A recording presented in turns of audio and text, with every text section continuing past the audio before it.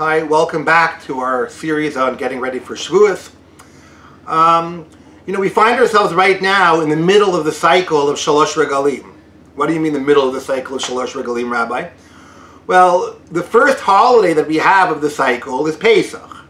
Um, again, let's not get confused with Rosh Hashanah being the, the head of the year. That's true, but in terms of when God created the world. But when the Jewish people became a nation, a nation in Nisan, the Torah doesn't even say the word Nisan. It says Chodesh Harishon. That's the first month.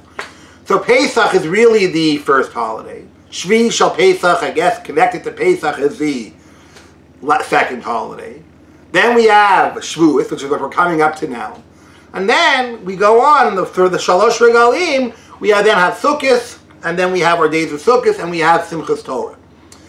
So many of the commentaries tell us that really that while it's true it's shalosh regalim, but there are two units. Unit number one is Pesach and Shavuos, and unit number two is Sukkot and Simchas Torah.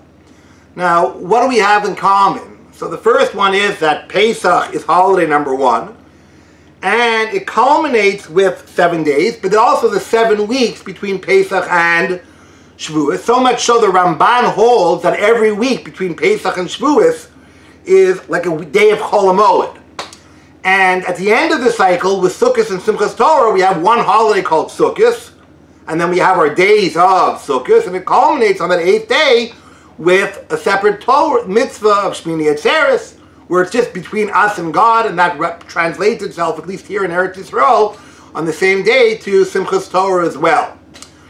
So everyone always wants to make a comparison. That there's a very, very big, there is a comparison between Shavuos and Simchas Torah because it revolves around Torah. Now, there's a lot going on with Shavuos and Simchas Torah. For example, nearly every other holiday has some sort of paraphernalia around it. Pesach has a matzah, and Seder, and Maror, Rosh Hashanah is Shofar, Sukkot is Lulav Esrog Sukkah. And every holiday we have, there's some sort of paraphernalia that goes along with it. There are two holidays that don't have any paraphernalia that go along with it except for Torah. And the two holidays that go that don't have any paraphernalia are going to be obviously Shavuos, Matan Torah, and Simchas Torah. Kodesh Baruch Hu tells us in Simchas Torah, just Beini and Bnei Israel. The last week has been for the nations of the world, but now it's just us. How do we take that now as a Jewish people, just between me and you, God? Simchas Torah. That's the Torah as well. So it's a very, very famous question. Why is it that on Simchas Torah we dance with the Torah, but on Shavuos we learn Torah? And we're not sitting there and having a day of Simcha where we're dancing with the Torah. That's Matan Torah. I would have thought Matan Torah is going to be the day of dancing as well. So many people answer this question by saying that in order to be able to dance with the Torah in Simchas, on Simchas Torah, which is going to be happening in four months or so from now, in order to dance with it, you have to appreciate it and you have to know what's in it. And in order to appreciate it and in order to know what's in it, that requires learning it. And that is the main idea of Shavuos. What do I mean by the main idea? It's true, Shavuos is Yontif. So you have to have a Suda, and in terms of Hilchas Yontif, the only thing you have to do on Shavuos is really have a Suda because that's the halacha. You have to have Basar V'yayin. Don't get me wrong, I don't complain about having Basar V'yayin. But that's the only thing that we do for Yontif, but that's true for every Yontif. But the other thing that we do on Shavuos is that we stay up all night, or if you don't have the koyach to stay up all night, but you make sure you're koveya a serious amount of time during the day to be involved in limud Torah.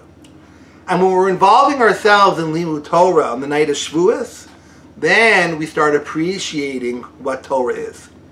Um, it sort of reminds me of a story on Simchas Torah once I heard from Rabbi Schuster that there was a man who was very, very, very far away from Judaism. And he walked into a shul, maybe even for the first time of his life, on Simchas Torah.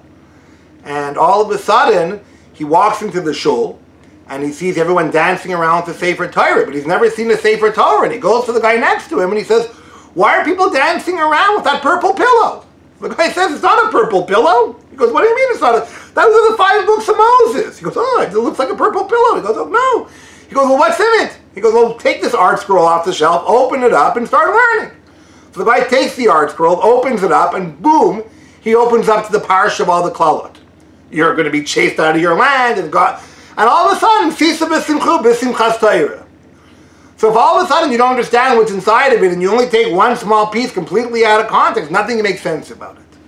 But when we involve ourselves in learning Torah on Shavuos, and all of a sudden we come to start appreciating what's inside of Torah, even in the Klalot, then we keep on working and working and working towards the ultimate goal of the Simcha that we have when it comes to Simchas Torah. That means that we have to start learning it and enjoying it and loving it. And with that, I give us all a bracha that we should have a Shavuos filled with love. We should have a Shavuos filled with love of learning, working on our Emunas Hashem, our Ahavas Hashem, and our Yiras Hashem. Thank you very much.